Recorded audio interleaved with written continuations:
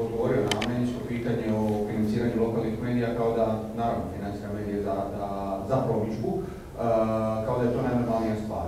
Kako to funkcionira u Bjelovaru, vi ste također gradonačelnik, uh, financirate li vi medije za promidžbu?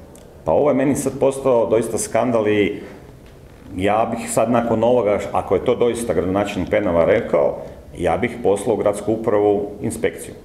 Naime, dakle, Bjelovar je bio prvi grad u Hrvatskoj, jer ja sam ostao frapiran, to je bilo točno prije pet ili šest godina, ovo što je gradonačelnik Penava rekao, ja sam bio isto tako šokiran time da praktički to polje nije bilo uređeno i da praktički svaki izdavač sa područja određene županije vama dolazi direktno u gradsku upravu da se dogovarate o cijeni s kojom će se pratiti lokalna razina politike.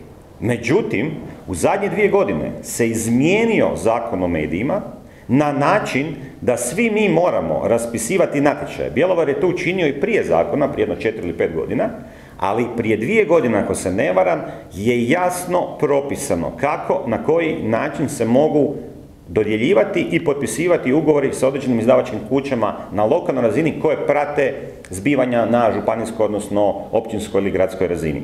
Dakle, tu mora biti jasno postavljeno da li je registriran pri Agenciji za elektroničke medije, koliko novinar ima zaposlenih, koliko je čitanost, koliki je broj klikova, koliki je utjecaj tog medija, koliko ima doseg, koliko ima, razumijete, baš jasno strukturirano. I tu se ne može više manipulirati da vi stavite primjerice neku rekao bih, neću reći obskurnu, ali rekao bih manju kuću, kao što je primjerice mreža TV, da ima veći ugovor nego što ima, ne znam, neka druga tele, nacionalna televizijska kuća. Dakle, to se kod nas ne može dogoditi. Pa recimo, mi konkretno imamo ugovor potpisan sa mrežom TV, koji je bio velik, ja kad sam došao, smanjio sam ga za u pola, jer jednostavno nisu pokazivali brojke koje bi trebali a da bi zaslužili tako visok ugovor.